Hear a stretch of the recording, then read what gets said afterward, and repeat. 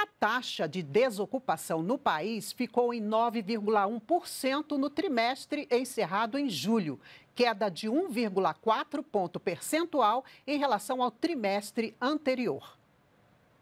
Ângela estava há um mês sem trabalhar. No mês de junho, ela foi contratada junto de outras três funcionárias para ser vendedora dessa loja de calçados em Brasília.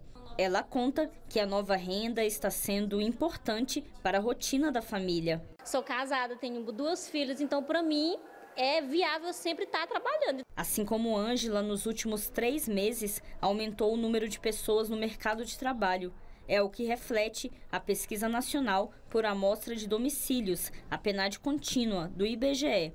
A taxa de pessoas sem emprego ficou em 9,1% no trimestre de maio a julho deste ano, uma redução de 1,4 ponto percentual em relação ao trimestre de fevereiro a abril. A população desocupada no país está em 9 milhões e 900 mil, é o menor nível desde o trimestre encerrado em janeiro de 2016. Já a quantidade de pessoas ocupadas chegou a 98 milhões e 700 mil, número recorde desde o início da série histórica em 2012.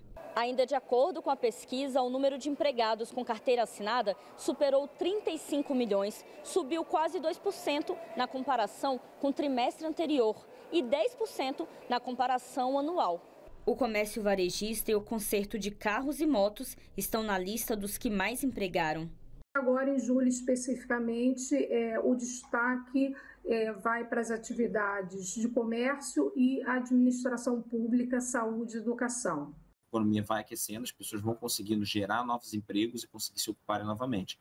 Podem consumir um pouco mais e podem continuar contribuindo para esse, esse crescimento da economia.